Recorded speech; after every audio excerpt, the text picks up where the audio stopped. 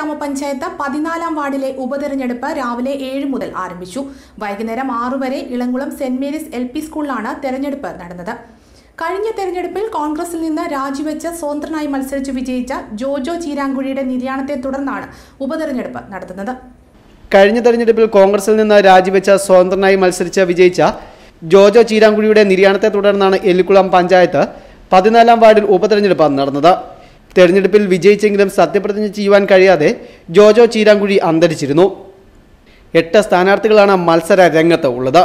L D F സ്ഥാനാർത്ഥിയായി Kerala Congress M പ്രതിനിധി ടോമി ഇടിയോടിയിൽ രണ്ടില ചിഹ്നത്തിലും യു ഡി എഫ് സ്ഥാനാർത്ഥിയായി കോൺഗ്രസിലെ ജെയിംസ് ജീരകത്തിൽ കൈപ്പത്തി അടയാളത്തിലും ബി ജെ പിക്ക് വേണ്ടി ജയപ്രകാശ് വടകര താമര ചിഹ്നത്തിലുമാണ് മത്സരിച്ചത്. ടോമി ഇടയോടിയിൽ ജെയിംസ് ജീരകത്തിൽ എന്നിവരുടെ പേരിനോട് സാമ്യമുള്ള രണ്ട് സ്വതന്ത്ര സ്ഥാനാർത്ഥികളും മത്സര രംഗത്തുണ്ട് പതിനാറംഗ പഞ്ചായത്തിൽ ഒൻപത് അംഗങ്ങളുള്ള എൽ ഡി എഫിന്റെ ഭരണത്തെ വാർഡിലെ തെരഞ്ഞെടുപ്പ് ഫലം ബാധിക്കില്ല. രണ്ട് ബൂത്തുകളിലായി ആയിരത്തി ഒരുന്നൂറ്റി എൺപത്തി ആറ് പേരാണ് വോട്ട് ചെയ്യുന്നത്. ഉച്ചയോടെ തന്നെ അൻപത് ശതമാനത്തിന് മുകളിൽ വോട്ടിംഗ് രേഖപ്പെടുത്തി. ആഴ്ചകളായി സ്ഥാനാർത്ഥികൾ പ്രചരണ ചൂടിലായിരുന്നു. കോവിഡ് നിയന്ത്രണങ്ങൾ പാലിച്ച പരമാവധി ആളുകളെ നേരിൽ കണ്ട് വോട്ടുറപ്പിക്കുവാൻ സാധിച്ചുവെന്ന വിശ്വാസത്തിലാണ് സ്ഥാനാർത്ഥികൾ ഉള്ളത്. കോവിഡ് മാനദണ്ഡങ്ങൾ പാലിച്ച് വോട്ട് ചെയ്യുന്നതിന് ആവശ്യമായ സൗകര്യങ്ങൾ അധികാരികൾ ഒരുക്കിയിരുന്നു. രണ്ട് പ്രിസൈഡിംഗ് ഓഫീസർമാരും ആറ് പോളിംഗ് ഓഫീസർമാരും രണ്ട് അസിസ്റ്റന്റ് പോളിംഗ് ഓഫീസർമാർ എന്നിവർ ഉൾപ്പെടെ പത്ത് ഉദ്യോഗസ്ഥരാണ് തെരഞ്ഞെടുപ്പ് നിയന്ത്രിച്ചത്. കോവിഡ് ബാധിതരും ക്വാറന്റൈനിൽ കഴിയുന്നവരും ഉൾപ്പെടെ പതിനൊന്ന് പേർ തപാൽ വോട്ട് രേഖപ്പെടുത്തി.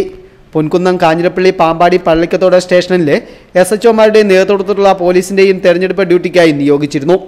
വ്യാഴാഴ്ചയാണ് ഫലം അറിയുന്നത്. സീൽ ചെയ്ത പെട്ടികൾ എലുക്കുളം പഞ്ചായത്തിൽ സൂക്ഷിക്കും. News bureau Kanjirappally. Textile factory outlet private bus സ്റ്റാൻഡിന് നിർവശം പഴയ Beemas textiles building Puthanangadi road Kanjirappally. ഉൽപാദന കേന്ദ്രങ്ങളിൽ നിന്നും ഉൽപ്പന്നങ്ങൾ ഉൽപാദന വിലയിൽ നേരിട്ട് ഉപഭോക്താക്കളിലേക്ക്. ടെക്സ്റ്റൈൽ ആൻഡ് റെഡിമെയ്ഡ് വസ്ത്രങ്ങൾ ഏറ്റവും കുറഞ്ഞ വിലയിൽ. ഒരു വീട്ടിലേക്ക് ആവശ്യമായ എല്ലാവിധ ടെക്സ്റ്റൈൽ റെഡിമെയ്ഡ് വസ്ത്രങ്ങളും ഏറ്റവും കുറഞ്ഞ വിലയിൽ. Textile factory outlet private bus സ്റ്റാൻഡിന് നിർവശം പഴയ Beemas textile building Puthanangadi road Kanjirappally.